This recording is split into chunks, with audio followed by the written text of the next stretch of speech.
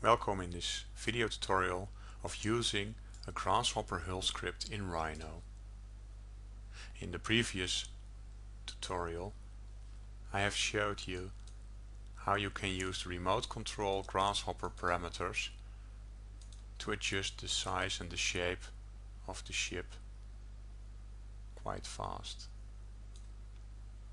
In this tutorial I'm going to show you the script itself, the Grasshopper script, and therefore I open the Grasshopper interface.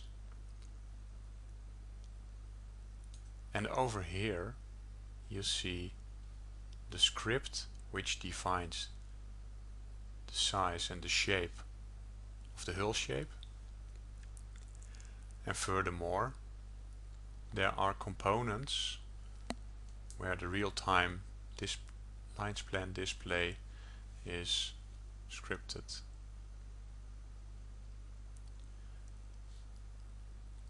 In the blog article where you can find this video tutorial there's also a link to the Grasshopper plugin where you can find all sorts of tutorials to start using Grasshopper yourself. In this tutorial I will focus at this particular script to model ship hulls. If I for example zoom in over here we find the parameters which were also displayed in the remote control panel in Rhino. Over here however I can double click and input an exact value for any parameter.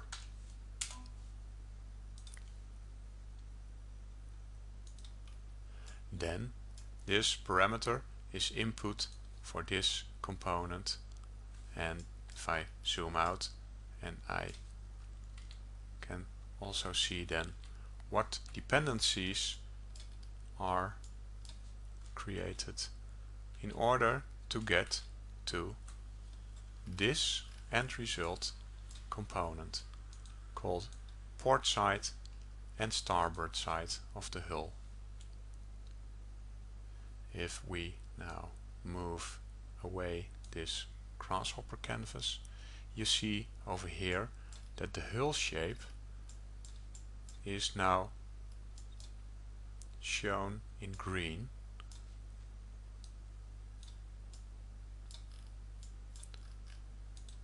So selecting the port and starboard parameter component here you see that preview is green and if I now go a little more to the right and click in Grasshopper over here on this button I bake the hull as you can see over here.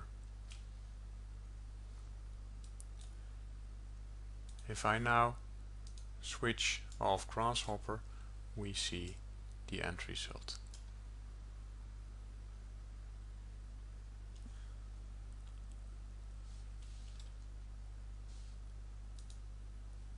Furthermore, it is important and interesting to know where, for example, some other values are calculated.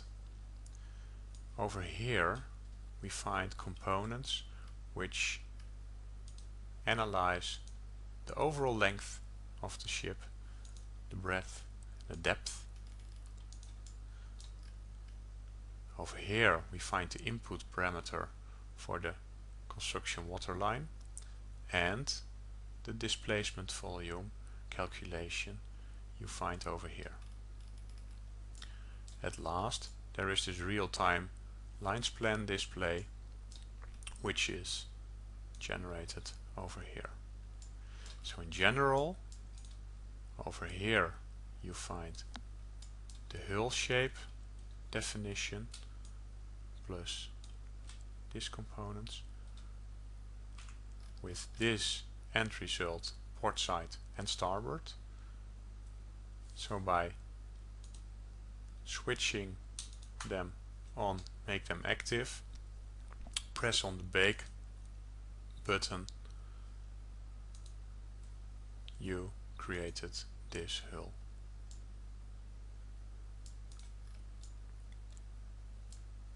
Thank you for watching. Please download the script and test out yourself. Good luck.